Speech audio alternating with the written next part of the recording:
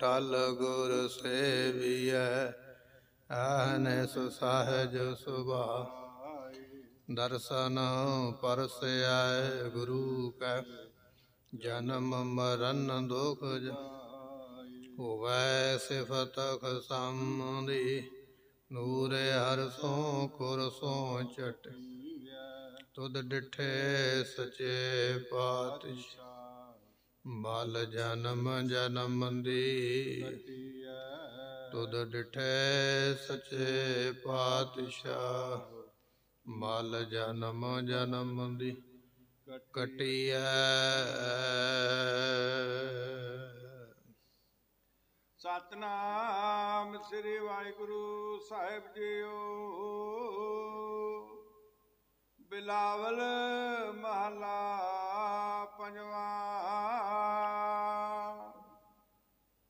ਸੋਈ ਮਲੀਨ ਦੀਨਹੀਨ ਜਿਸ ਪ੍ਰਭ ਬਿਸਰਾਨਾ। ਕਰਨ ਹਾਰ ਨਾ ਬੂਝਈ ਆਪ ਗਨ ਬੇਗਾਨਾ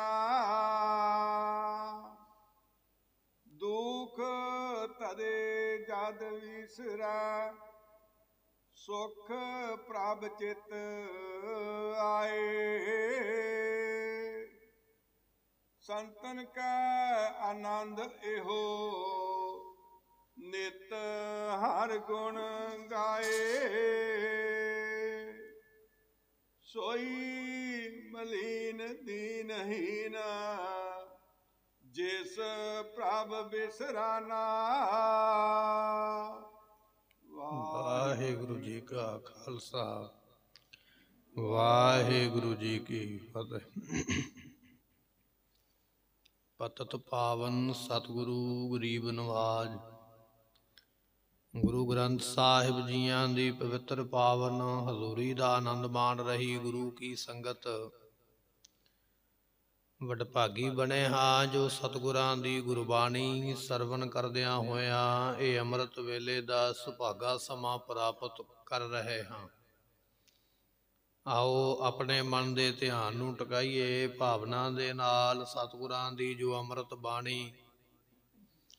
ਸਤਿਗੁਰੂ ਜੀ ਸਾਨੂੰ ਅੰਮ੍ਰਿਤ ਵੇਲੇ ਪਾਵਨ ਪਵਿੱਤਰ ਉਪਦੇਸ਼ ਬਖਸ਼ਿਸ਼ ਕਰਦੇ ਕੁਝ ਸਮੇਂ ਲਈ ਮਨ ਦੇ ਧਿਆਨ ਨੂੰ ਟਿਕਾ ਕੇ ਭਾਵਨਾ ਦੇ ਨਾਲ ਅੰਮ੍ਰਿਤ ਬਚਨ ਸਰਵਨ ਕਰਕੇ ਮਿਲਿਆ ਹੋਇਆ ਹੈ ਮਨੁੱਖਾ ਜਨਮ ਦੀਆਂ ਜੋ ਘੜੀਆਂ ਹਨ, ਜੋ ਸਮਾਂ ਹੈ ਇਸ ਨੂੰ ਸਫਲਾ ਬਣਾ ਕੇ ਲਾਹਾ ਪ੍ਰਾਪਤ ਕਰੀਏ।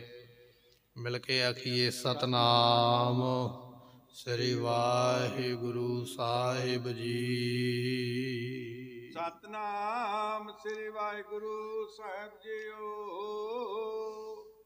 ਬਿਲਾਵਲ ਮਹਲਾ ਪੰਜਵਾ। ਬਿਲਾਵਲ ਰਾਗ ਦਾ ਇਹ ਸ਼ਬਦ ਹੈ, ਗੁਰੂ ਗ੍ਰੰਥ ਸਾਹਿਬ ਮਹਾਰਾਜ ਸਾਹਿਬ ਜੀ ਦੇ ਵਿੱਚ 31 ਰਾਗ ਮਹਾਰਾਜ ਨੇ ਲਿਖੇ ਨੇ। 31 ਰਾਗਾਂ ਦੇ ਵਿੱਚੋਂ ਇੱਕ ਰਾਗ ਬਿਲਾਵਲ ਹੈ ਜਿਸ ਨੂੰ ਸਵੇਰ ਵੇਲੇ 6 ਵਜੇ ਤੋਂ ਲੈ ਕੇ 9 ਵਜੇ ਤੱਕ ਇਸ ਰਾਗ ਨੂੰ ਗਾਉਣ ਕਰਨ ਦਾ ਹੁਕਮ ਹੈ। ਇਹ ਰਾਗ ਗਾਇਆ ਜਾ ਸਕਦਾ ਹੈ। ਐਸੇ ਰਾਗ ਦੇ ਵਿੱਚ ਗੁਰੂ ਅਰਜਨ ਦੇ ਪਾਤਸ਼ਾਹ ਜੀ ਦਾ ਇਹ ਸ਼ਬਦ ਹੈ, ਕਿਉਂਕਿ ਗੁਰੂ ਗ੍ਰੰਥ ਸਾਹਿਬ ਦੇ ਵਿੱਚ ਗੁਰੂ ਨਾਨਕ ਸਾਹਿਬ ਮਹਾਰਾਜ ਜੀ ਦੇ ਸ਼ਬਦ ਨੇ ਗੁਰੂ ਅੰਗਦ ਸਾਹਿਬ ਪਾਤਸ਼ਾਹ ਦੇ ਗੁਰੂ ਅਮਰਦਾਸ, ਧੰਨ ਗੁਰੂ ਰਾਮਦਾਸ ਮਹਾਰਾਜ ਦੀ ਬਾਣੀ ਵੀ ਲਿਖੀ ਗਈ ਹੈ ਔਰ ਜਿੱਥੇ ਗੁਰੂ ਅਰਜਨ ਸਾਹਿਬ ਦੀ ਬਾਣੀ ਲਿਖੀ ਹੈ, ਗੁਰੂ ਤੇਗ ਬਹਾਦਰ ਮਹਾਰਾਜ ਸਾਹਿਬ ਜੀ ਦੀ ਵੀ ਬਾਣੀ ਲਿਖੀ ਹੈ। ਇਸ ਕਰਕੇ ਮਹਾਰਾਜ ਸਾਹਿਬ ਜੀ ਜਦੋਂ ਮਹੱਲਾ ਲਿਖਦੇ ਨੇ ਨਾਲ ਇੱਕ ਅੰਕ ਪਾ ਦਿੰਦੇ ਨੇ ਕਿ ਕਿਹੜੇ ਗੁਰੂ ਸਾਹਿਬ ਦੀ ਬਾਣੀ ਹੈ। ਇਥੇ ਪੰਜਵਾਂ ਅੰਕ ਮਹਾਰਾਜ ਜੀ ਨੇ ਪਾਇਆ ਭਾਵ ਇਹ ਹੈ ਪੰਜਵੇਂ ਗੁਰੂ ਦੀ ਬਾਣੀ ਹੈ ਜੋ ਆਪਾਂ ਸਰਵਨ ਕਰਨ ਜਾ ਰਹੇ ਹਾਂ। ਸੋਈ ਮਲੀਨ ਦੀਨਹੀਨ ਜਿਸ ਪ੍ਰਭ ਬਿਸਰਾਨਾ। ਸਤਿਗੁਰੂ ਬਖਸ਼ਿਸ਼ ਕਰਦੇ ਜਿਹਨੂੰ ਪਰਮਾਤਮਾ ਭੁੱਲਿਆ ਹੋਇਆ ਹੈ। ਪਰਮਾਤਮਾ ਜਿਹਨੂੰ ਭੁੱਲਿਆ ਹੈ ਤੇ ਆਪਾਂ ਉਹਨਾਂ ਵਿੱਚੋਂ ਹੀ ਆ, ਸਾਨੂੰ ਵੀ ਭੁੱਲਿਆ ਹੀ ਹੋਇਆ ਹੈ। ਮਹਾਰਾਜ ਕਹਿਣ ਲੱਗੇ, ਕੋਟਨ ਮੈਂ ਨਾਨੋ ਕੋ ਨਾਰਾਇਣ ਜਿਹੇ ਚੀਤ, ਕਰੋੜਾਂ ਵਿੱਚ ਕੋਈ ਇੱਕ ਹੈ ਜਿਹਨੂੰ ਪਰਮਾਤਮਾ ਭੁੱਲਿਆ। ਨਹੀਂ ਤੇ ਕਰੋੜਾਂ ਲੋਕ ਉਹ ਨੇ ਜਿਨ੍ਹਾਂ ਨੂੰ ਰੱਬ ਭੁੱਲਿਆ ਹੀ ਹੋਇਆ ਹੈ। ਕਰੋੜਾਂ ਵਿੱਚੋਂ ਇੱਕ ਹੈ ਜਿਹਨੂੰ ਚੇਤੇ ਹੈ। ਇਥੇ ਸਤਿਗੁਰੂ ਕਹਿਣ ਲੱਗੇ, ਪ੍ਰਭ, ਬਿਸਰਾਨਾ। ਜਿਸ ਨੂੰ ਪਰਮਾਤਮਾ ਭੁੱਲਿਆ ਹੈ ਤੇ ਉਹਨਾਂ ਕਰੋੜਾਂ ਦੀ ਗਿਣਤੀ ਵਿੱਚ ਅਸੀਂ ਵੀ ਆ ਗਏ, ਸਾਨੂੰ ਵੀ ਭੁੱਲਿਆ ਹੋਇਆ ਜਦੋਂ ਸਾਨੂੰ ਕੋਈ ਲੋੜ ਪੈ ਜਾਂਦੀ ਹੈ, ਕੋਈ ਬਿਪਤਾ ਪੈ ਜਾਂਦੀ, ਮੁਸੀਬਤ ਪੈ ਜਾਂਦੀ, ਉਦੋਂ ਸਾਨੂੰ ਆਪਣੇ ਕੰਮ ਦੇ ਲਈ ਉਹ ਚੇਤੇ ਆਉਂਦਾ। ਹੁਣ ਕੰਮ ਹੈ, ਹੁਣ ਚੇਤੇ ਕਰ ਲਈਏ। ਪਰ ਚੇਤੇ ਇਸ ਵਾਸਤੇ ਨਹੀਂ ਆਇਆ ਵੀ ਅਸੀਂ ਉਸ ਨੂੰ ਚੇਤੇ ਕੀਤਾ। ਚੇਤੇ ਤਾਂ ਆਇਆ ਕਿ ਸਾਨੂੰ ਕੰਮ ਪੈ ਗਿਆ। ਸਾਡੇ ਤੇ ਕੋਈ ਵਿਪਤਾ ਪੈ ਗਈ ਹੈ, ਜਿਹੜੀ ਸਾਡੇ ਕੋਲੋਂ ਹੁਣ ਹੱਲ ਨਹੀਂ ਹੋਵੇਗੀ। ਤੇ ਫਿਰ ਸਾਨੂੰ ਉਹਨੂੰ ਚੇਤੇ ਕਰਨਾ ਪਵੇਗਾ ਵੀ ਇਹ ਪਰਮਾਤਮਾ ਹੁਣ ਸਾਡੇ ਦੀ ਮਦਦ ਕਰ, ਮਿਹਰ ਕਰ। ਕਾਮ ਪਰੈ ਤੇ ਸਿਮਰੀਐ। ਸਾਨੂੰ ਕੰਮ ਪੈਂਦਾ ਹੈ, ਵਿਪਤਾ ਪੈਂਦੀ ਹੈ, ਫਿਰ ਅਸੀਂ ਚੇਤੇ ਕਰਦੇ ਹਾਂ। ਫਿਲਹਾਲ ਨਹੀਂ ਕਰਦੇ। ਸਤਿਗੁਰੂ ਕਹਿਣ ਲੱਗੇ, ਪ੍ਰਭ ਸਰਾਨਾ ਜਿਹਨੂੰ ਪਰਮਾਤਮਾ ਭੁੱਲਿਆ ਹੈ, ਸਾਡੇ ਵਰਗੇ ਲੋਕਾਂ ਨੂੰ ਸੋਈ ਮਲੀਨ, ਉਹ ਸਭ ਤੋਂ ਗੰਦਾ ਹੈ। ਭਾਵੇਂ ਆਪਾਂ ਆਖੀਏ ਨਾ, ਮੈਂ ਕਹਿੰਨਾ ਵੀ ਨਾਤਾ ਧੋਤਾ, ਮੇਰੀ ਬੜੀ ਸਾਫ਼ ਸਫ਼ਾਈ ਹੈ। ਪਰ ਅਸਲ ਦੇ ਵਿੱਚ ਅਸੀਂ ਗੰਦੇ ਹਾਂ, ਕਿਉਂਕਿ ਸਰੀਰ ਕੁਝ ਸਮੇਂ ਬਾਅਦ ਫਿਰ ਸਮੈਲ ਦਿੰਦਾ, ਫਿਰ ਗੰਦਗੀ ਇਹਦੇ ਵਿੱਚੋਂ ਨਿਕਲਦੀ ਹੈ। ਸਰੀਰ ਵੀ ਗੰਦਾ ਹੈ, ਸਾਡੇ ਵਿਚਾਰ ਵੀ ਗੰਦੇ, ਸਾਡੀ ਆਤਮਾ ਵੀ ਮਲੀਨ ਹੋ ਜਾਂਦੀ ਹੈ। ਉਹਦੇ ਵਾਸਤੇ ਕਾਰਨ ਇਹ ਹੈ ਵੀ ਪ੍ਰਮਾਤਮਾ ਨੂੰ ਭੁੱਲੇ ਹੋਏ। ਦੂਜਾ ਬਚਨ ਮਹਾਰਾਜ ਕਹਿਣ ਲੱਗੇ ਕਿ ਇਹ ਜਿਹੜਾ ਵਿਅਕਤੀ ਹੈ, ਇਹ ਹੈ ਦੀਨ। ਦੀਨ ਤੋਂ ਭਾਵ ਹੈ ਕੰਗਾਲ। ਜਿਹਨੂੰ ਪ੍ਰਮਾਤਮਾ ਭੁੱਲਿਆ ਹੋਇਆ, ਉਹ ਬੰਦਾ ਕੰਗਾਲ ਹੈ। ਜਿਹਨੂੰ ਪ੍ਰਮਾਤਮਾ ਚੇਤੇ ਹੈ, ਉਹ ਬਾਦਸ਼ਾਹ ਹੈ। ਸਾਧੂਆਂ ਦੇ ਕੋਲ ਜਾ ਕੇ ਲੋਕ ਮੰਗਦੇ ਨਾ, ਸਾਨੂੰ ਕੋਈ ਦਾਤ ਦਿਓ। ਤੇ ਸਾਧੂ ਐਡਾ ਵੱਡਾ ਬਾਦਸ਼ਾਹ ਹੈ, ਮੂੰਹੋਂ ਮੰਗੀ ਵਸਤੂ ਦੇ ਦਿੰਦਾ, ਮੂੰਹੋਂ ਮੰਗੀ। ਕਰਮਾਂ 'ਚ ਨਾ ਹੋਵੇ ਤਾਂ ਵੀ ਮਿਲ ਜਾਂਦੀ ਹੈ। ਕਿਉਂਕਿ ਸਾਧੂ ਬਾਦਸ਼ਾਹ ਹੈ, ਉਹਦੇ ਕੋਲ ਨਾਮ ਹੈ। ਬਾਦਸ਼ਾਹ ਬਾਬਰ ਨੇ ਮੰਗ ਹੀ ਲਿਆ ਨਾ ਮਹਾਰਾਜ ਸਾਹਿਬ ਜੀ ਦੇ ਕੋਲੋਂ, ਸਤਿਗੁਰੂ ਰਾਜ ਭਾਗ ਦੇ ਦੇ। ਸਾਡੇ ਤੋਂ ਕੋਈ ਨਿੱਕੀ ਜੀ ਚੀਜ਼ ਮੰਗ ਲਵੇ, ਸਾਡੇ ਕੋਲੋਂ ਦਈ ਨਹੀਂ ਜਾਣੀ, ਕਿਉਂਕਿ ਆਪਾਂ ਕੰਗਾਲ ਆ। ਉਹਦਾ ਕਾਰਨ ਇਹ ਹੈ ਵੀ ਸਾਡੇ ਕੋਲ ਪ੍ਰਮਾਤਮਾ ਦਾ ਨਾਮ ਨਹੀਂ, ਅਸੀਂ ਭੁੱਲੇ ਹੋਏ। ਪ੍ਰਭ ਸਰਾਨਾ, ਸਾਨੂੰ ਪ੍ਰਮਾਤਮਾ ਭੁੱਲਿਆ ਹੋਇਆ, ਇਸ ਕਰਕੇ ਅਸੀਂ ਕੰਗਾਲ, ਅਸੀਂ ਕਿਸੇ ਨੂੰ ਕੀ ਦੇਵਾਂ? ਜਿਹਨੂੰ ਪ੍ਰਮਾਤਮਾ ਚੇਤੇ ਹੈ ਜਿਸ ਨੂੰ ਬਖਸ਼ੇ ਸਿਫਤ ਸਲਾਹ, ਨਾਨਕ ਪਾਤਸ਼ਾਹੀ, ਉਹ ਬਾਦਸ਼ਾਹਾਂ ਦਾ ਵੀ ਬਾਦਸ਼ਾਹ ਹੈ। ਅਸਲ ਵਿੱਚ ਬਾਦਸ਼ਾਹਾਂ ਨੂੰ ਬਾਦਸ਼ਾਹੀ ਦੇਣ ਵਾਲਾ ਹੈ। ਸੋ ਮਹਾਰਾਜ ਕਹਿਣ ਲੱਗੇ, ਭਾਈ, ਤੂੰ ਪ੍ਰਮਾਤਮਾ ਨੂੰ ਭੁਲਾਇਆ ਹੈ। ਉਹਦਾ ਕਾਰਨ ਇਹ ਹੈ ਵੀ ਤੂੰ ਦੀਨ ਹੈ। ਦੀਨ ਕਹਿ ਲਈਏ, ਤੂੰ ਕੰਗਾਲ ਹੈ, ਤੇਰੇ ਕੋਲ ਕੁਝ ਵੀ ਨਹੀਂ ਹੈ। ਤੇ ਤੀਸਰਾ ਬਚਨ ਮਹਾਰਾਜ ਕਹਿਣ ਲੱਗੇ ਹੀਨ ਹੀਣ ਤੋਂ ਭਾਵ ਮੇਰੇ ਵਿੱਚ ਸ਼ੁਭ ਗੁਣ ਵੀ ਕੋਈ ਨਹੀਂ, ਮੈਂ ਸ਼ੁਭ ਗੁਣਾ ਤੋਂ ਵੀ ਹੀਣਾ ਹਾਂ। ਸਤ ਸੰਤੋਖ ਦਇਆ ਧਰਮ, ਇਹ ਨੇ ਸ਼ੁਭ ਗੁਣ। ਪਰ ਜਿਹਦੇ ਕੋਲ ਨਾਮ ਨਹੀਂ ਹੈ, ਉਹਦੇ ਕੋਲ ਇਹ ਸ਼ੁਭ ਗੁਣ ਵੀ ਨਹੀਂ। ਉਹ ਸ਼ੁਭ ਗੁਣਾ ਤੋਂ ਖਾਲੀ ਹੈ। ਉਹਦੇ ਕੋਲ ਪਾਪ ਤੇ ਹੋ ਸਕਦਾ ਹੈ, ਚੁਗਲੀ ਹੋ ਸਕਦੀ ਹੈ, ਨਿੰਦਿਆ ਹੋ ਸਕਦੀ ਹੈ। ਕਿਸੇ ਦਾ ਮਾੜਾ ਕਿਵੇਂ ਕਰਨਾ, ਇਹ ਹੋ ਸਕਦਾ, ਪਰ ਭਲੇ ਵਾਲਾ ਗੁਣ ਉਹਦੇ ਕੋਲ ਕੋਈ ਨਹੀਂ ਹੋਵੇਗਾ। ਉਹਦਾ ਕਾਰਨ ਕੀ ਹੈ? ਕਿਉਂਕਿ ਉਹਨੇ ਪ੍ਰਮਾਤਮਾ ਨੂੰ ਭੁਲਾਇਆ ਹੋਇਆ ਹੈ। ਪ੍ਰਮਾਤਮਾ ਦੇ ਨਾਮ ਨੂੰ ਭੁਲਾਇਆ ਹੋਇਆ ਹੈ। ਸਤਿਗੁਰੂ ਪਾਤਸ਼ਾਹ ਕਹਿਣ ਲੱਗੇ, ਸੋਈ ਮਲੀਨ ਦੀਨ ਹੀਨ ਜਿਸ ਪ੍ਰਭ ਸਰਾਨਾ, ਜਿਹਨੂੰ ਪ੍ਰਮਾਤਮਾ ਭੁੱਲਿਆ ਉਹ ਮਲੀਨ ਗੰਦਾ ਹੈ, ਔਗਣਾ ਕਰਕੇ, ਵਕਾਰਾਂ ਕਰਕੇ, ਜਿਹਨੂੰ ਰੱਬ ਭੁੱਲਿਆ ਹੈ, ਉਹ ਕੰਗਾਲ ਹੈ, ਕਿਸੇ ਨੂੰ ਕੁਝ ਨਹੀਂ ਦੇ ਸਕਦਾ, ਮੰਗ ਭਾਵੇਂ ਲਵੇ। ਜਿਹਨੂੰ ਪ੍ਰਮਾਤਮਾ ਭੁੱਲਿਆ ਹੈ ਉਹ ਸ਼ੁਭ ਗੁਣਾ ਤੋਂ ਹੀਣਾ ਹੈ ਉਹਦੇ ਕੋਲੋਂ ਕਿਸੇ ਗੁਣ ਦੀ ਆਸ ਨਾ ਰੱਖੋ। ਕਿਉਂਕਿ ਪ੍ਰਮਾਤਮਾ ਨੂੰ ਉਹ ਭੁਲਾਈ ਬੈਠਾ ਹੈ। ਫਿਰ ਮਹਾਰਾਜ ਬਖਸ਼ਿਸ਼ ਕਰਦੇ ਹਨ। ਸੋਈ ਮਲੀਨ ਦੀਨਹੀਨ ਜਿਸ ਪ੍ਰਭ ਬਿਸਰਾਨਾ। ਜਿਸ ਨੇ ਪ੍ਰਮਾਤਮਾ ਨੂੰ ਭੁਲਾਇਆ ਹੈ ਉਹ ਪਾਪਾਂ ਕਰਕੇ ਮਲੀਨ ਹੈ। ਕਿਸੇ ਨੇ ਪੁੱਛ ਲਿਆ ਮਹਾਰਾਜ ਇਹ ਜੀਵ ਅਸੀਂ ਮੈਲੇ ਕਿਉਂ ਹੋਏ ਆ? ਸਤਿਗੁਰੂ ਕਹਿਣ ਲੱਗੇ, ਪਾਪਾਂ ਦੀ ਮੈਲ ਕਰਕੇ। ਕਿਉਂਕਿ ਜੇ ਮਿੱਟੀ ਉੱਡੇਗੀ ਤੇ ਮੈਲ ਤੇ ਤਾਂ ਹੀ ਲੱਗੇਗੀ ਨਾ ਆ ਕੇ ਅੰਗਾਂ ਨੂੰ। ਇਹ ਪਾਪਾਂ ਦੀ ਮੈਲ ਤੇਰੇ ਲੱਗੀ ਹੋਈ ਹੈ ਤਾਂ ਤੂੰ ਮੈਲਾ ਹੈ। ਸੇ ਗੁਰਮੁਖੋ ਦਿਨੇ ਰਾਤ ਕੋਈ ਨਾ ਕੋਈ ਪਾਪ ਜਾਣੇ ਵਿੱਚ, ਅਣਜਾਣੇ ਵਿੱਚ ਕਰਦੇ ਹੀ ਪਏ। ਤੇ ਸਤਿਗੁਰੂ ਪਾਤਸ਼ਾਹ ਕਹਿਣ ਲੱਗੇ, ਪਾਪਾਂ ਦੀ ਮੈਲ ਕਰਕੇ ਇਹ ਜੀਵ ਮਲੀਨ ਹੈ। ਦੀਨ ਸਰੂਪ ਰੂਪੀ ਜਿਹੜਾ ਸਰੂਪ ਹੈ, ਉਹ ਤੋਂ ਰਹਿਤ ਹੋਣ ਕਰਕੇ ਇਹ ਦੀਨ ਹੈ। ਸਰੂਪ ਦੀ ਪ੍ਰਾਪਤੀ ਨਹੀਂ ਹੈ। ਮਨ ਤੂੰ ਜੋਤ ਸਰੂਪ ਹੈ, ਆਪਣਾ ਮੂਲ ਪਛਾਣ। ਸਰੂਪ ਦੀ ਪ੍ਰਾਪਤੀ ਨਾ ਹੋਣ ਕਰਕੇ ਇਹ ਜੀਵ ਜਿਹੜਾ ਹੈ, ਦੀਨ ਹੈ ਅਤੇ ਸ਼ੁਭ ਗੁਣਾ ਤੋਂ ਹੀਣਾ ਹੈ, ਕਿਉਂਕਿ ਪ੍ਰਮਾਤਮਾ ਨੂੰ ਭੁਲਾਇਆ ਹੈ। ਨਾ ਬੂਝਈ। ਜਿਹੜਾ ਦੁਨੀਆ ਨੂੰ ਬਣਾਉਣ ਵਾਲਾ, ਸਿਰਜਣ ਵਾਲਾ ਪਰਮਾਤਮਾ ਹੈ, ਬੰਦਾ ਕਦੇ ਨਹੀਂ ਉਸ ਨੂੰ ਜਾ ਕੇ ਉਸ ਦੀ ਪ੍ਰਾਪਤੀ ਕਰਦਾ ਉਸ ਨੂੰ ਜਾਣਦਾ ਨਹੀਂ ਵੀ ਕੌਣ ਹੈ ਦੁਨੀਆ ਬਣਾਉਣ ਵਾਲਾ। ਇੱਥੋਂ ਤੱਕ ਕਿ ਬੰਦਾ ਰੱਬ ਨਾਲ ਵੀ ਮੱਥਾ ਲਾਉਂਦਾ ਹੈ ਕਿ ਮੈਂ ਹੀ ਦੁਨੀਆ ਦਾ ਰੱਬ ਹਾਂ। ਬੜੇ ਹੋਏ ਦੁਨੀਆ ਵਿੱਚ ਰਣਾਕਸ਼ ਵਰਗੇ, ਰਾਵਣ ਵਰਗੇ, ਜਿਨ੍ਹਾਂ ਨੇ ਆਪਣੇ ਆਪ ਨੂੰ ਰੱਬ ਸਾਬਤ ਕੀਤਾ। ਸਤਿਗੁਰੂ ਪਾਤਸ਼ਾਹ ਕਹਿਣ ਲੱਗੇ, ਕਰਨ ਹਾਰ ਨਾ ਬੁੱਝਈ। ਸਿਰਜਣਹਾਰ ਪਰਮਾਤਮਾ ਨੂੰ ਇਹ ਜਾਣਦਾ ਨਹੀਂ ਹੈ। ਆਪ ਗਣ ਬੇਗਾਨਾ। ਇਹ ਜਿਹੜਾ ਬੇਗਾਨਾ ਬੇਗਿਆਤ ਜੀਵ ਹੈ ਨਾ ਆਪਣੇ ਆਪ ਨੂੰ ਹੀ ਸਭ ਕੁਝ ਮਿਥਦਾ ਹੈ ਆਪਣੇ ਆਪ ਨੂੰ ਹੀ ਸਭ ਕੁਝ ਗਿਣਦਾ ਵੀ ਮੈਂ ਹੀ ਹਾਂ ਜੋ ਹਾਂ। ਇੰਨੀ ਅਗਿਆਨਤਾ ਹੈ ਜਿਨੇ ਤੈਨੂੰ ਬਣਾਇਆ ਹੈ ਉਹਨੂੰ ਨਹੀਂ ਜਾਣਦਾ ਵੀ ਉਹ ਕੌਣ ਹੈ। ਬਸ ਆਪਣਾ ਦਾਵਾ ਜ਼ਰੂਰ ਕਰਦਾ ਵੀ ਮੈਂ ਹੀ ਹਾਂ ਜੋ ਹਾਂ। ਜੇ ਸੁੰਦਰ ਸਰੂਪ ਦਿੱਤਾ ਨਾ ਪ੍ਰਮਾਤਮਾ ਨੇ ਤੇ ਕਦੇ ਇਹ ਨਹੀਂ ਚਾਹੁੰਦਾ ਵੀ ਇਹ ਪ੍ਰਮਾਤਮਾ ਨੇ ਦਿੱਤਾ। ਨਹੀਂ, ਮੈਂ ਸੋਹਣਾ ਹਾਂ। ਤੇ ਜੇ ਪ੍ਰਮਾਤਮਾ ਨੇ ਧਨ ਦੇ ਦਿੱਤਾ ਤੇ ਕਦੇ ਇਹ ਨਹੀਂ ਆਖਿਆ ਵੀ ਇਹ ਰੱਬ ਦਾ ਦਿੱਤਾ। ਨਹੀਂ, ਇਹ ਮੈਂ ਕਮਾਇਆ ਹੈ। ਕਦੇ ਵੀ ਪ੍ਰਮਾਤਮਾ ਨੂੰ ਕਿਸੇ ਵੇਲੇ ਵੀ ਯਾਦ ਨਹੀਂ ਕਰਦਾ। ਜਿਹੜੀ ਵੀ ਚੀਜ਼ ਇਹਦੇ ਕੋਲ ਆ ਜਾਂਦੀ, ਉਹਦਾ ਖੁਦ ਮਾਲਕ ਬਣ ਜਾਂਦਾ ਹੈ। ਸਤਿਗੁਰੂ ਪਾਤਸ਼ਾਹ ਕਹਿਣ ਲੱਗੇ ਆਪ ਗਨੇ ਬਿਗਾਨਾ ਇਹ ਜਿਹੜਾ ਬੇਗਿਆਤ ਜੀਵ ਹੈ ਆਪਣੇ ਆਪ ਨੂੰ ਸਭ ਕੁਝ ਗਿਣਦਾ ਹੈ ਕਿ ਮੈਂ ਹੀ ਹਾਂ ਜੋ ਹਾਂ। ਫਿਰ ਬਖਸ਼ਿਸ਼ ਕਰਦੇ ਹਨ ਹਾਰ ਨਾ ਬੂਝਈ ਆਪ ਗਣ ਬੇਗਾਨਾ। ਸਤਿਗੁਰੂ ਪਾਤਸ਼ਾਹ ਕਹਿਣ ਲੱਗੇ ਜਿਹੜਾ ਦੁਨੀਆ ਬਣਾਉਣ ਵਾਲਾ ਜੇ ਉਹਨੂੰ ਨਹੀਂ ਨਾ ਤੂੰ ਜਾਣਦਾ ਉਹਨੂੰ ਨਹੀਂ ਨਾ ਚੇਤੇ ਕਰਦਾ ਤੇ ਇਹ ਬੇਗਾਨਾ ਇਹ ਬੇ ਤੋਂ ਭਾਵ ਹੈ ਦ્વੈਤ ਦ્વੈਤ ਨੂੰ ਗਾਉਣ ਵਾਲਿਆ। ਇੱਕ ਦਿਨ ਸਮਾਂ ਆਵੇਗਾ ਜਦੋਂ ਜਮਾਂ ਦੇ ਵਸ ਪੈ ਜਾਏਗਾ। ਸਮਾਂ ਆਵੇਗਾ ਜਦੋਂ ਜਮਾਂ ਦੇ ਵਸ ਪੈ ਜਾਵੇਂਗਾ। ਜਮ ਦੁਨੀਆ ਤੋਂ ਲੈ ਜਾਣਗੇ, ਅੱਜ ਤੇਰੀ ਉਮਰਾ ਹੈ, ਅੱਜ ਤੇਰੀ ਜਵਾਨੀ ਹੈ, ਅੱਜ ਤੇਰਾ ਬੜਾ ਸੋਹਣਾ ਸਰੀਰ ਹੈ। ਅੱਜ ਬੜੇ ਤੈਨੂੰ ਲੋਕ ਦੁਨੀਆ ਦੇ ਚੰਗਾ ਕਹਿੰਦੇ, ਸੋਹਣਾ ਕਹਿੰਦੇ, ਤੇਰੀਆਂ ਤਾਰੀਫਾਂ ਹੁੰਦੀਆਂ। ਪਰ ਤੇਰੇ ਤੋਂ ਪਹਿਲਾਂ ਇਹ ਸੁੰਦਰ ਸਰੂਪ ਦੀਆਂ, ਸੋਹਣੇ ਗੁਣਾਂ ਦੀਆਂ ਤਾਰੀਫਾਂ ਤੇ ਹੋਰ ਵੀ ਕਈਆਂ ਦੀਆਂ ਹੋ ਚੁੱਕੀਆਂ।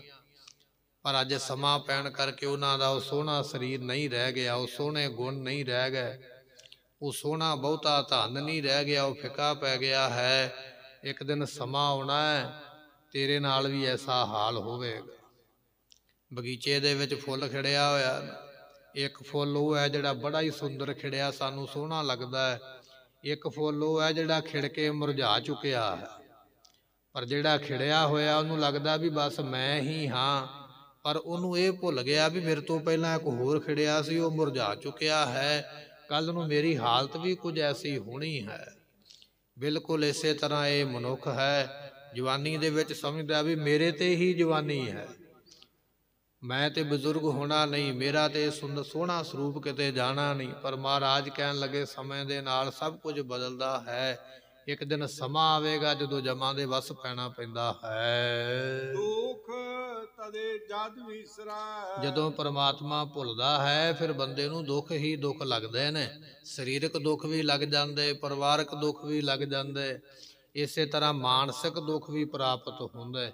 ਮਹਾਰਾਜ ਕਹਿਣ ਲੱਗੇ ਦੁੱਖ ਤਦੇ ਜਦ ਵਿਸਰ ਜਾਏ ਜਦੋਂ ਰੱਬ ਭੁੱਲ ਜਾਂਦਾ ਹੈ ਨਾ ਫਿਰ ਉਸ ਵੇਲੇ ਦੁੱਖ ਹੀ ਦੁੱਖ ਹਨ। ਸੁਖ ਪ੍ਰਭ ਚਿਤ ਆਏ। ਤੇ ਜੇ ਪ੍ਰਮਾਤਮਾ ਚੇਤੇ ਆ ਜਾਵੇ ਫਿਰ ਗੁਰਮੁਖੋ ਦੁੱਖ ਦੇ ਵਿੱਚ ਵੀ ਉਹ ਸੁੱਖ ਦੇ ਦਿੰਦਾ ਹੈ। ਉਹ ਪ੍ਰਮਾਤਮਾ ਐਸਾ ਹੈ ਜੇ ਕਿਤੇ ਦੁਖੀ ਹੋ ਜਾਈਏ ਨਾ ਸਾਰੇ ਪਾਸੇ ਤੋਂ ਤੇ ਫਿਰ ਪ੍ਰਮਾਤਮਾ ਨੂੰ ਚੇਤੇ ਕਰ ਲਈਏ ਬਾਣੀ ਪੜਨ ਲੱਗ ਪਈਏ ਨਾਮ ਜਪਣ ਲੱਗ ਪਈਏ। ਫਿਰ ਉਹ ਦੁੱਖ ਦੇ ਵਿੱਚ ਵੀ ਕੋਈ ਇਹੋ ਜਿਹਾ ਸੁੱਖ ਦੀ ਬਖਸ਼ਿਸ਼ ਕਰ ਦਿੰਦਾ ਹੈ ਸਾਰੇ ਦੁੱਖ ਭੁੱਲ ਜਾਂਦੇ।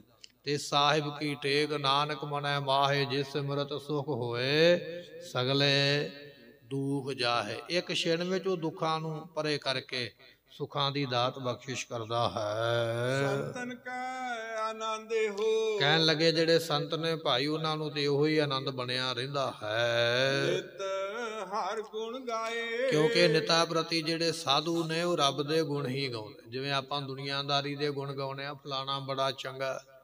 ਦੁਨੀਆ ਦੀ ਚਾਪਲੂਸੀ ਦੁਨੀਆ ਦੇ ਮਗਰ ਦੌੜੇ ਪਏ ਹਾਂ। ਸਾਧੂਆਂ ਦਾ ਬਿਲਕੁਲ ਕਰਮ ਸਾਡੇ ਨਾਲੋਂ ਉਲਟਾ ਹੈ। ਸਾਧੂ ਜਿਹੜੇ ਨੇ ਉਹ ਪ੍ਰਮਾਤਮਾ ਦੀ ਗੁਣ ਗਾਉਣ ਵਿੱਚ ਲੱਗੇ ਨੇ ਕਿਉਂਕਿ ਉਹ ਸਦਾ ਰਹਿਣ ਵਾਲਾ ਹੈ। ਸਾਧੂ ਉਸ ਪ੍ਰਮਾਤਮਾ ਦੇ ਗੁਣਾਂ ਨੂੰ ਗਾਉਂਦੇ ਹਨ। ਉੱਚੇ ਤੇ ਨੀਚਾ ਕਰੈ। ਉਹ ਪ੍ਰਮਾਤਮਾ ਬੜਾ ਸਮਰੱਥ ਹੈ। ਜਿਹੜਾ ਆਪਣੇ ਆਪ ਨੂੰ ਕਹਿੰਦਾ ਨਾ ਮੈਂ ਬੜਾ ਉੱਚਾ ਹਾਂ ਵੀ ਮੇਰਾ ਕੱਦ ਕਾਠ ਵੀ ਉੱਚਾ ਹੈ ਮੇਰੇ ਕੋਲ ਧਨ ਪਦਾਰਥ ਬੜਾ ਮੈਂ ਅਮੀਰ ਹਾਂ। ਮੈਂ ਸਭ ਤੋਂ ਉੱਚਾ ਹਾਂ ਮੇਰੇ ਲਾਗੇ ਬੰਨੇ ਮੇਰਾ ਕੋਈ ਗੁਆਂਢੀ ਨਹੀਂ ਹੈ ਕੋਈ ਸ਼ਰੀਕਾ, ਕੋਈ ਰਿਸ਼ਤੇਦਾਰ ਮੇਰੇ ਬਰਾਬਰ ਨਹੀਂ, ਮੈਂ ਸਭ ਤੋਂ ਅਮੀਰ ਉੱਚਾ ਹਾਂ। ਉਹ ਪਰਮਾਤਮਾ ਕੀ ਕਰਦਾ? ਉੱਚੇ ਤੇ ਨੀਚਾ ਕਰੇ, ਝਾਟੀ ਲਾਉਂਦਾ। ਇੱਕ ਦਿਨ ਹੀ ਲਾਵੇਗਾ, ਸਭ ਕੁਝ ਉਡਾ ਦੇਵੇਗਾ, ਤੇਰੇ ਕੋਲ ਨੀਚਾ ਹੋ ਜਾਵੇਗਾ, ਨੀਵਾ ਹੋ ਜਾਏਗਾ। ਕੱਲ ਸਭ ਤੋਂ ਵੱਡਾ ਸੀ, ਅੱਜ ਸਭ ਤੋਂ ਨੀਵਾ। ਮਹਾਰਾਜ ਜੀ ਦਾ ਬਚਨ ਹੈ, ਸਤਿਗੁਰੂ ਪਾਤਸ਼ਾਹ ਕਹਿਣ ਲੱਗੇ, ਜੇ ਸਿਕਦਾਰ ਹੈ, ਪਵੈ ਜੰਜੀਰੀ ਚਾਕਰ ਹੱਥੋਂ ਮਰਨਾ। ਇੱਕ ਦਿਨ ਸਮਾਂ ਉਹ ਸੀ ਜਿੱਦਣ ਰਾਜਾ ਹੈ ਤੇ ਤਖਤ ਤੇ ਬੈਠਾ ਹੋਇਆ। ਇੱਕ ਦਿਨ ਸਮਾਂ ਉਹ ਆ ਗਿਆ, ਸਿਪਾਹੀਆਂ ਨੇ ਗਲ ਵਿੱਚ ਜੰਜੀਰੀਆਂ ਪਾ ਕੇ, ਸੰਗਲ ਪਾ ਕੇ ਬੰਨ ਕੇ ਤੇ ਜੇਲ੍ਹ ਵਿੱਚ ਸੁੱਟਿਆ। ਹੁਣ ਹੈ ਉਹੀ ਹੈ ਜਿਹੜਾ ਕੱਲ ਉੱਚਾ ਸੀ, ਰਾਜਾ ਸੀ, ਅੱਜ ਉਹੀ ਹੈ ਜਿਸ ਰਾਜੇ ਨੂੰ ਬੰਨ ਕੇ ਜੇਲ੍ਹ ਵਿੱਚ ਸੁੱਟਿਆ ਹੋਇਆ। ਹੈ ਮਹਾਰਾਜ ਕਹਿਣ ਲੱਗੇ, ਉਹ ਪ੍ਰਮਾਤਮਾ ਐਸਾ ਹੈ, ਜਦੋਂ ਚਾਹੁੰਦਾ ਹੈ ਨਾ ਉੱਚੇ ਵੱਡੇ ਵੱਡੇ ਰਾਜੇ, ਉਹਨਾਂ ਨੂੰ ਇੱਕ ਛਿਣ ਦੇ ਵਿੱਚ ਨੀਚਾ ਵੀ ਕਰ ਦਿੰਦਾ। ਹੈ ਜੇਲ੍ਹਾਂ ਵਿੱਚ ਵੀ ਬੰਦ ਕਰ ਦਿੰਦਾ ਉਹਨਾਂ ਦੇ ਰਾਜ ਭਾਵ ਖੁੱਸ ਜਾਂਦੇ ਐਸਾ ਗਰੀਬ ਬਣਾ ਦਿੰਦਾ ਹੈ। ਤੇ ਜੇ ਉਹ ਪ੍ਰਮਾਤਮਾ ਚਾਵੇ ਤੇ ਨੀਵਿਆਂ ਨੂੰ ਇੱਕ ਛਿਣ ਦੇ ਵਿੱਚ ਉੱਚਾ ਵੀ ਕਰ ਦਿੰਦਾ ਹੈ। ਗੁਰਮੁਖੋ ਉਗਰਸੈਨ ਨਾਮ ਦਾ ਇੱਕ ਰਾਜਾ ਹੋਇਆ ਪਹਿਲੇ ਸਮੇਂ ਦੇ। ਵਿਦਵਾਨ ਜਨ ਕਹਿੰਦੇ ਨੇ ਕੰਸ ਦਾ ਇਹ ਪਿਤਾ ਹੈ। ਤੇ ਕੰਸ ਨੇ ਰਾਜ ਲੈ ਰਾਜ ਭਾਗ ਲੈਣ ਵਾਸਤੇ ਆਪਣੇ ਪਿਤਾ ਨੂੰ ਜੇਲ੍ਹ ਵਿੱਚ ਸੁੱਟ ਦਿੱਤਾ। ਜੇਲ੍ਹ ਵੀ ਇਹੋ ਜੀ ਦਿੱਤੀ ਹੈ ਜਿਹਦੇ ਵਿੱਚ ਨਾ ਪਤਾ ਲੱਗੇ ਵੀ ਸੂਰਜ ਕਦੋਂ ਚੜ੍ਹਦਾ ਹੈ ਤੇ ਚੰ드ਰਮਾ ਕਦੋਂ ਚੜ੍ਹਦਾ।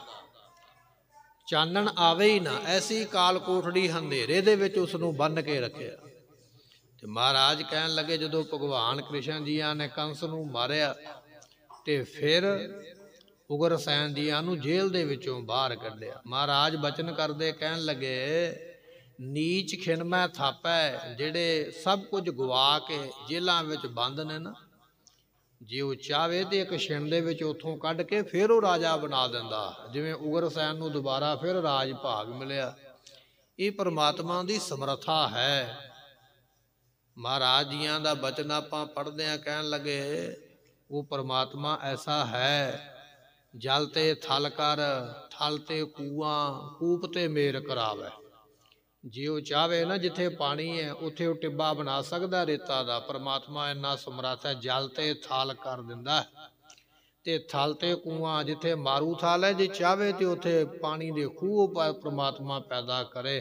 ਕੂਪ ਤੇ ਮੇਰ ਕਰਾਵੇ, ਜਿੱਥੇ ਕਿਤੇ ਪਾਣੀ ਦਾ ਖੂਹ ਹੈ, ਪਰਮਾਤਮਾ ਚਾਹਵੇ ਉੱਥੇ ਸਮੇਰ ਪਰਬਤ ਪਹਾੜ ਖੜਾ ਕਰ ਸਕਦਾ ਹੈ। ਧਰਤੀ ਤੇ ਆਕਾਸ਼ ਚੜਾਵੇ ਜਿਹੜੇ ਧਰਤੀ ਤੇ ਬੈਠੇ ਹੋਏ ਪਰਮਾਤਮਾ ਚਾਹਵੇ ਤੇ ਉਹਨਾਂ ਨੂੰ ਆਕਾਸ਼ ਵਿੱਚ ਉੱਡਣ ਲਾ ਸਕਦਾ, ਅਮੀਰ ਬਣਾ ਸਕਦਾ ਔਰ ਚੜ੍ਹੇ ਆਕਾਸ਼ ਗਰਾਵੇ।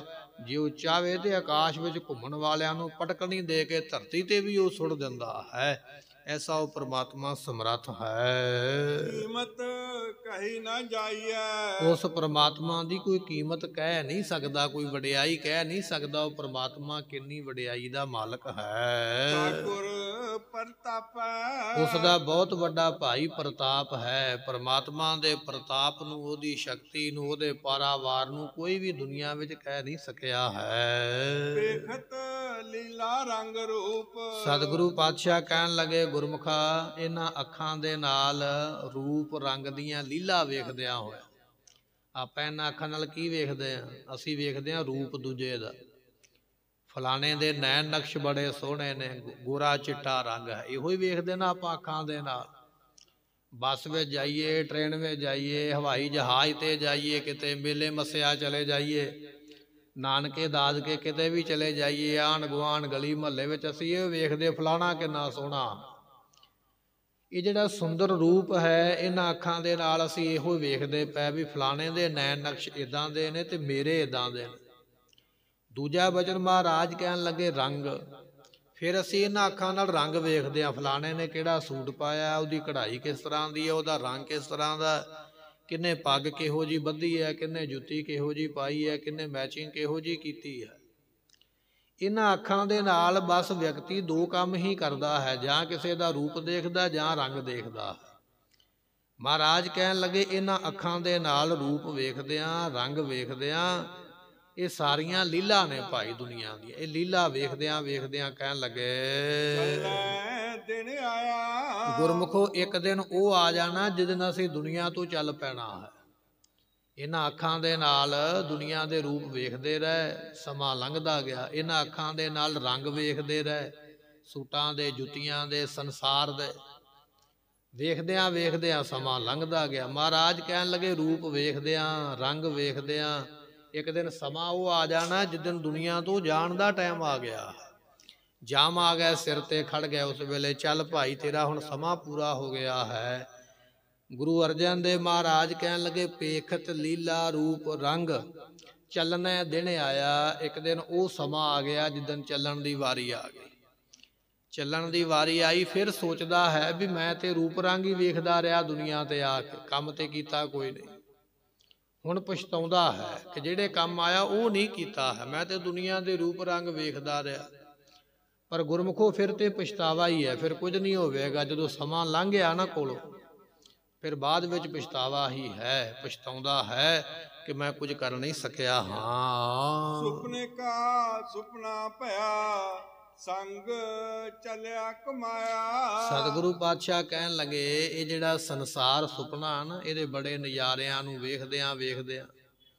ਪਰ ਗੁਰਮੁਖੋ ਇੱਕ ਦਿਨ ਸਮਾਂ ਆ ਜਾਣਾ ਜਦੋਂ ਇਹ ਸਾਰੇ ਸੰਸਾਰ ਸੁਪਨਿਆਂ ਦੇ ਨਜ਼ਾਰੇ ਸਭ ਅਭਾਵ ਹੋ ਜਾਣੇ ਖਤਮ ਹੋ ਜਾਣੇ। ਆ ਜਿਹੜੀਆਂ ਚੰਗੀ, ਚੀਜ਼ਾਂ ਸਾਨੂੰ ਚੰਗੀਆਂ ਲੱਗਦੀਆਂ, ਸੋਹਣੀਆਂ ਲੱਗਦੀਆਂ, ਜਿਨ੍ਹਾਂ ਨੂੰ ਵੇਖ ਕੇ ਅਸੀਂ ਖੁਸ਼ ਹੁੰਦੇ ਆ ਹੌਲੀ ਹੌਲੀ ਉਹਨਾਂ ਦੀ ਖੁਸ਼ੀ ਘਟ ਜਾਏਗੀ। ਉਹ ਚੰਗੀਆਂ ਲੱਗਣੀਆਂ ਹਟ ਜਾਣਗੀਆਂ। ਮਹਾਰਾਜ ਕਹਿਣ ਲੱਗੇ, ਸੰਸਾਰ ਸੁਪਨਾ ਹੈ। ਇਹਦੇ ਨਜ਼ਾਰੇ ਜਿਹੜੇ ਸੰਸਾਰ ਦੇ ਵੀ ਸੁਪਨੇ ਹੀ ਹਨ। ਤੇ ਇੱਕ ਦਿਨ ਸਮਾਂ ਆਉਣਾ ਹੈ, ਸਭ ਕੁਝ ਸੁਪਨਾ ਹੀ ਹੋ ਜਾਣਾ, ਖਤਮ ਹੋ ਜਾਣਾ ਹੈ।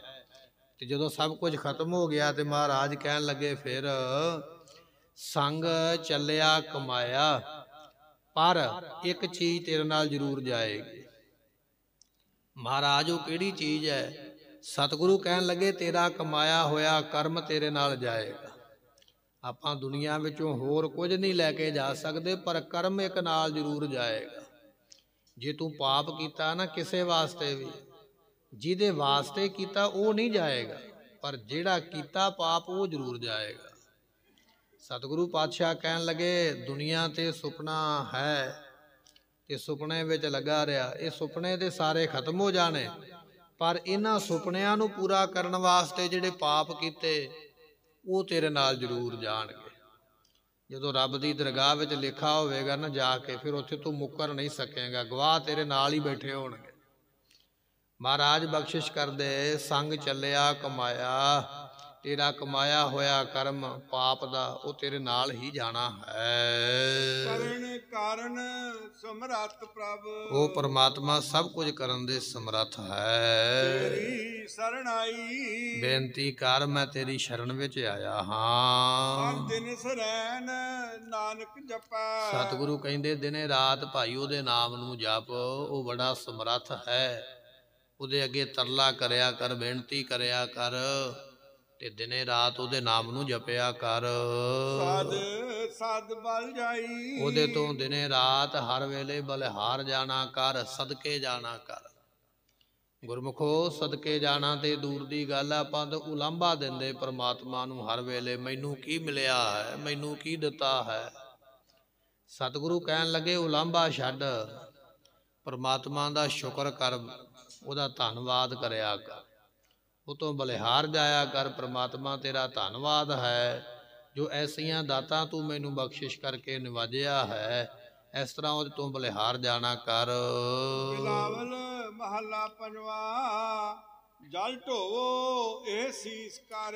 ਸਤਿਗੁਰੂ ਪਾਤਸ਼ਾਹ ਕਹਿਣ ਲੱਗੇ ਜਿਹੜੇ ਸਾਧੂ ਸੰਤ ਨੇ ਨਾ ਜਾਂ ਗੁਰੂ ਦੀ ਸੰਗਤ ਹੈ ਉਹਨਾਂ ਦੀ ਸੇਵਾ ਕਰਨ ਵਾਸਤੇ ਆਪਣੇ ਸਿਰ ਦੇ ਉੱਪਰ ਜਲ ਢੋਇਆ ਕਰ। ਜਲ ਢੋ ਕੇ ਸਾਧੂਆਂ ਦਾ ਇਸ਼ਨਾਨ ਕਰਵਾਇਆ ਕਰ ਗੁਰੂ ਦੀ ਸੰਗਤ ਵਾਸਤੇ। ਇਹ ਜਿਹੜਾ ਹੈ, ਜਲ ਢੋਣ ਦੀ ਸੇਵਾ ਆਪਣੇ ਸੀਸ ਤੇ ਕਰ, ਜਲ ਢੋਵੋ ਕਰ ਸੀਸ ਕਰ।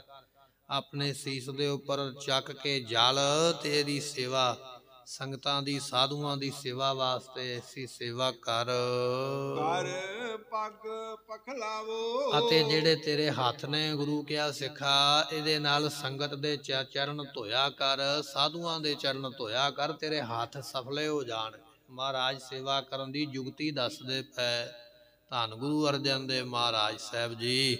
ਗੁਰੂ ਕਿਹਾ ਸਿੱਖਾ ਇਹਦਾ ਸਿਰ ਹੈ ਤੇਰਾ ਇਹਦੇ ਤੇ ਪਾਣੀ ਢੋਇਆ ਕਰ ਸੰਗਤ ਵਾਸਤੇ। ਔਰ ਇਸੇ ਤਰ੍ਹਾਂ ਸਾਧੂਆਂ ਦੇ ਇਸ਼ਨਾਨ ਵਾਸਤੇ ਜਿਵੇਂ ਧੰਨ ਗੁਰੂ ਅਮਰਦਾਸ ਮਹਾਰਾਜ ਸਾਹਿਬ ਜੀ, ਭੱਲੇ ਅਮਰਦਾਸ, ਗੁਣ ਤੇਰੇ, ਤੇਰੀ ਉਪਮਾ, ਤੋਹੇ ਬਨ ਆਵੇ। ਐਸੇ ਸਤਿਗੁਰਾਂ ਨੇ ਆਪ ਆਪਣੇ ਮੋਢੇ ਤੇ ਰੱਖ ਰੱਖ ਕੇ ਗਾਗਰ ਦੀਆਂ, ਜਲ ਦੀਆਂ ਗਾਗਰਾਂ ਰੱਖ ਰੱਖ ਕੇ ਗੁਰੂ ਅੰਗਦ ਸਾਹਿਬ ਪਾਤਸ਼ਾਹ ਜੀ ਦਾ ਇਸ਼ਨਾਨ ਕਰਵਾਉਂਦੇ। ਸੋ ਐਸਾ ਬਚਨ ਹੈ। ਕਹਿਣ ਲੱਗੇ, ਭਾਈ, ਆਪਣੇ ਸਿਰ ਤੇ ਪਾਣੀ ਦੀ ਗਾਗਰ ਰੱਖ ਕੇ ਸਾਧੂ ਦਾ ਇਸ਼ਨਾਨ ਕਰਵਾ, ਤੇਰਾ ਭਲਾ ਹੋ ਜਾਏਗਾ। ਆਪਣੇ ਹੱਥਾਂ ਦੇ ਨਾਲ ਕਿਸੇ ਬੰਦਗੀ ਵਾਲੇ ਸਾਧੂ ਦੇ ਚਰਨ ਧੋਦੇ ਤੇਰਾ ਭਲਾ ਹੋ ਜਾਏਗਾ। ਸੰਗਤ ਦੇ ਚਰਨ ਧੋਇਆ ਕਰ ਤੇਰਾ ਭਲਾ ਹੋਵੇ ਐਸਾ ਬਚਨ ਮਹਾਰਾਜ ਬਖਸ਼ਦੇ ਹਨ। ਬਾਹਰ ਜਾਓ ਲੱਖ ਬੇਰੀਆ ਐਸੇ ਸਾਧੂ ਤੋਂ ਲੱਖ ਵਾਰੀ ਬਲਿਹਾਰ ਜਾਣਾ ਕਰੀਏ। ਦਰਸ ਪੇਖ ਜਵਾਵੋ। ਐਸੇ ਸਾਧੂ ਦੇ ਦਰਸ਼ਨ ਕਰਕੇ ਜਿਉਣਾ ਹੁੰਦਾ ਹੈ। ਭਾਈ ਅਸੀਂ ਐਸੇ ਸਾਧੂ ਦੇ ਦਰਸ਼ਨਾਂ ਕਰਕੇ ਜਿਉਂਦੇ ਹਾਂ। ਤੁਸੀਂ ਵੀ ਐਸੇ ਦਰਸ਼ਨ ਕਰਕੇ ਲਾਹਾ ਪ੍ਰਾਪਤ ਕਰੋ। ਕਰੋ ਮਨੋਰਥ ਮਨੇ ਮਾਹੇ। ਜਿਹੜਾ ਵੀ ਮਨ ਦੇ ਵਿੱਚ ਮਨੋਰਥ ਕਰੋਗੇ ਮਨ ਦੇ ਵਿੱਚ ਇੱਛਾ ਰੱਖੋਗੇ ਆਪਣੇ ਪ੍ਰਾਪਤੇ ਪਾਵੋ। ਉਹ ਪ੍ਰਮਾਤਮਾ ਕੋਲੋਂ ਪਾਲਿਓ ਭਾਈ। ਪਰ ਪ੍ਰਮਾਤਮਾ ਕੋਲੋਂ ਕਦੋਂ ਮਿਲੇਗਾ? ਪ੍ਰਮਾਤਮਾ ਕੋਲੋਂ ਉਦੋਂ ਮਿਲੇਗਾ ਆਪਣੇ ਪ੍ਰਭ ਜਦੋਂ ਪ੍ਰਮਾਤਮਾ ਨੂੰ ਤੂੰ ਆਪਣਾ ਬਣਾ ਲਵੇਂਗਾ। ਪਰ ਗੁਰਮੁਖੋ ਬਚਨ ਤੇ ਆ ਵੀ ਅਸੀਂ ਆਪਣਾ ਬਣਾਉਂਦੇ ਨਹੀਂ ਨਾ ਸਭ ਕੁਝ ਆਪਣਾ ਇੱਕ ਰਾਮ ਪਰਾਇਆ। ਪਦਾਰਥ ਮੇਰਾ ਹੈ ਪਦਾਰਥ ਦੇਣ ਵਾਲਾ ਨਹੀਂ ਮੇਰਾ ਹੈ। ਪਰ ਉਦੋਂ ਤੇਰੀਆਂ ਇਸ਼ਾਵਾਂ ਪੂਰੀਆਂ ਹੋ ਜਾਣਗੀਆਂ ਜਦੋਂ ਦੇਣ ਵਾਲੇ ਨੂੰ ਆਪਣਾ ਬਣਾਉਂਦਾ ਹੈ। ਦਿਓ ਸੋਨੀ ਸਾਧਕਾ। ਸਤਿਗੁਰੂ ਪਾਤਸ਼ਾਹ ਕਹਿਣ ਲੱਗੇ ਕੋਈ ਸਾਧੂ ਹੈ ਨਾ ਗੁਰਮੁਖ? ਉਹਦੇ ਸਥਾਨ ਤੇ ਜਾ ਕੇ ਸੁਹਣੀ ਤੋਂ ਭਾਵ ਹੈ ਗੁਰਮੁਖੋ ਝਾੜੂ ਦੇਣਾ ਬੌਕਰ ਦੇਣੀ। ਸਾਧੂ ਦੇ ਜਾ ਕੇ ਸਥਾਨ ਤੇ ਬੌਕਰ ਦਿਆ ਕਰ, ਝਾੜੂ ਦਿਆ ਕਰ।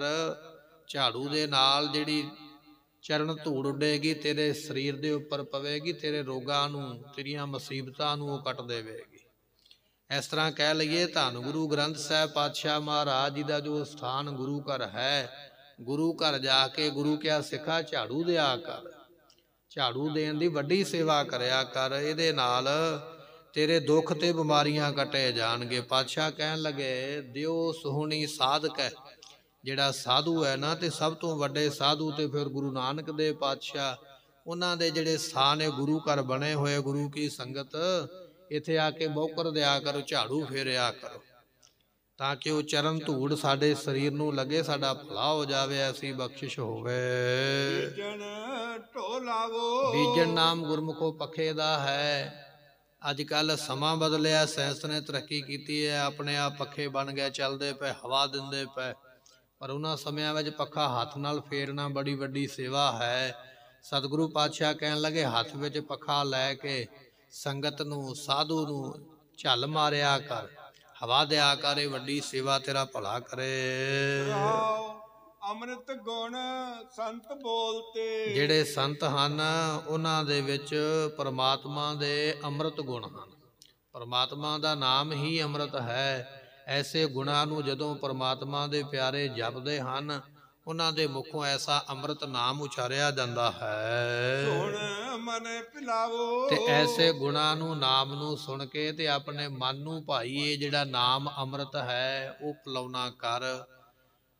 ਸੋ ਇਹ ਜਿਹੜੇ ਤੇਰੇ ਕੰਨਾਂ ਰੂਪੀ ਭਾਂਡੇ ਹਨ, ਇਹਨਾਂ ਵਿੱਚ ਜਿਹੜਾ ਗੁਰੂ ਦਾ ਸ਼ਬਦ ਸੁਣਦੇ ਪਏ ਹਾਂ, ਇਹ ਮੰਨ ਲਓ ਅੰਮ੍ਰਿਤ ਪੀਂਦੇ ਪਏ ਹਾਂ।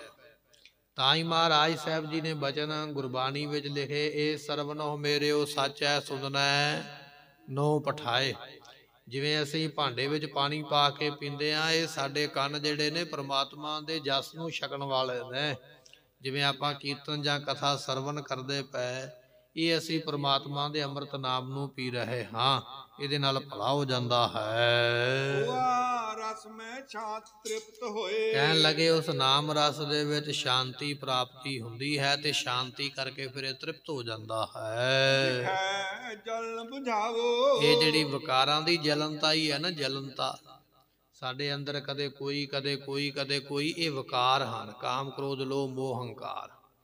ਇਹਦੇ ਨਾਲ ਹਰ ਵੇਲੇ ਜਲਨਤਾ ਹੀ ਬਣੀ ਰਹਿੰਦੀ ਹੈ। ਹਰ ਵੇਲੇ ਜਿਹੜੇ ਹਨ ਵਿਕਾਰ ਸਾੜਦੇ ਰਹਿੰਦੇ। ਪਰ ਕਹਿਣ ਲੱਗੇ ਅੰਮ੍ਰਿਤ ਨਾਮ ਦੇ ਨਾਲ ਇਹ ਵਿਕਾਰਾਂ ਦੀ ਜਲਨਤਾ ਨੂੰ ਵਿਕਾਰਾਂ ਨੂੰ ਦੂਰ ਕਰਨਾ ਕਰ।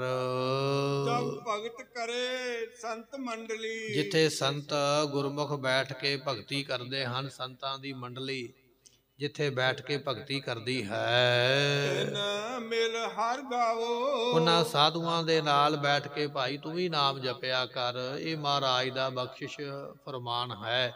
ਜਿੱਥੇ ਸੰਤ ਬੈਠਦੇ ਉੱਥੇ ਬੈਠ ਕੇ ਤੂੰ ਵੀ ਨਾਲ ਵਾਹਿਗੁਰੂ ਵਾਹਿਗੁਰੂ ਦਾ ਜਾਪ ਕਰ। ਕਰੋ ਨਮਸਕਾਰ ਭਗਤ ਜਨ। ਇਸ ਕਰਕੇ ਇਹ ਭਗਤ ਜਨੋ ਉਸ ਪਰਮੇਸ਼ਰ ਅਕਾਲ ਪੁਰਖ ਵਾਹਿਗੁਰੂ ਨੂੰ ਨਮਸਕਾਰ ਕਰਨਾ ਕਰੋ। ਹੋਰ ਮੁਖ ਲਾਵੋ। ਐਸੇ ਸਾਧੂਆਂ ਦੇ ਚਰਨਾਂ ਦੀ ਧੂੜ ਜਿਹੜੀ ਹੈ ਆਪਣੇ ਮੁਖ ਮਸਤਕ ਨੂੰ ਲਾ ਕੇ ਆਪਣਾ ਭਲਾ ਕਰਨਾ ਕਰ।